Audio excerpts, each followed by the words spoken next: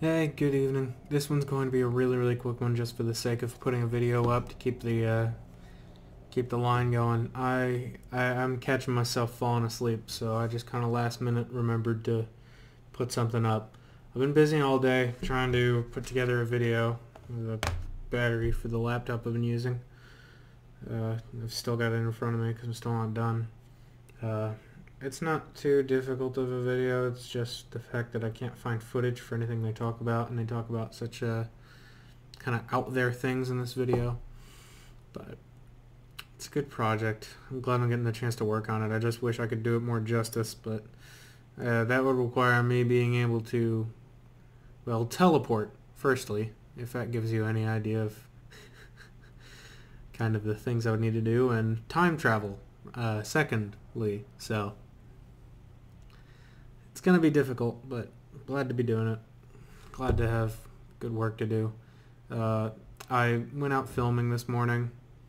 Uh, that was good to get that done. It got me a bit of footage that I'm using in here, so it's helping out.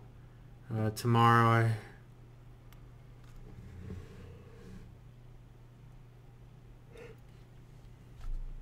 tomorrow I am showing what we have for the video so far to I don't even know who. I also don't know where and I also don't know when. But I'm showing it to people. So, see how that goes. But I've just I've been tired all day. I had maybe 2 or 3 hours worth of energy and I have been up for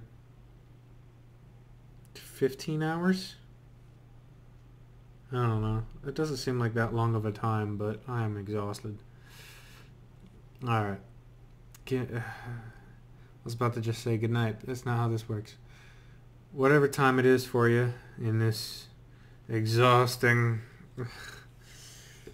in this exhausting world of ours, whether it be good morning, good afternoon, good evening, or, for me, good night. Whichever one of those applies to you, I sincerely hope it is good. I really do. Thank you for watching the video. This is going to be incredibly short, and it's also going up unedited, so I apologize for the bad audio and the bad lighting and everything, but I'm immediately going to bed after this, and I can't be uploading a huge file, so... Appreciate you all. Uh, hopefully the next one will go up edited, because I actually had a lot of fun with the last one, despite the fact that it took me until, I don't know, 11 p.m. or something. I, I think it was like 10.45 by the time I finally got to bed. Uh, hopefully the next one can be edited like that as well, just a little bit quicker. We'll see. All right. Thank you. Stay frosty. See you in the next one. Ugh.